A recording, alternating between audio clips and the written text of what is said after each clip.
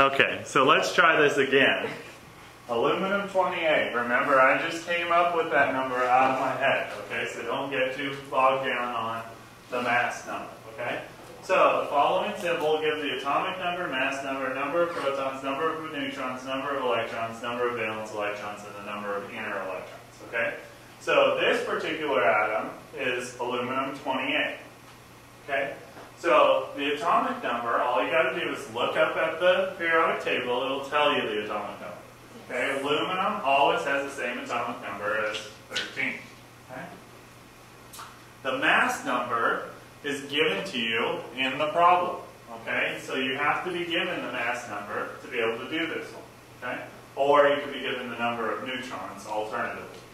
But anyways, in this problem, uh, the mass number is 28. Okay?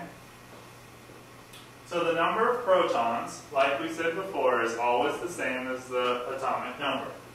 So it's 13. In fact, to be an aluminum atom, you have to have 13 protons.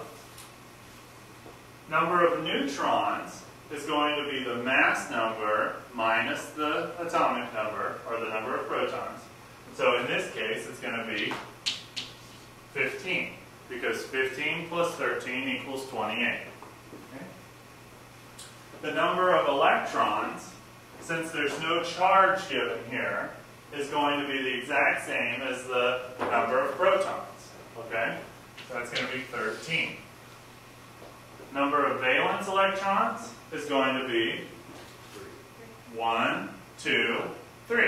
We count it like that, or we can look up here at 13 and take off the 1. Okay? Valence electrons is 3.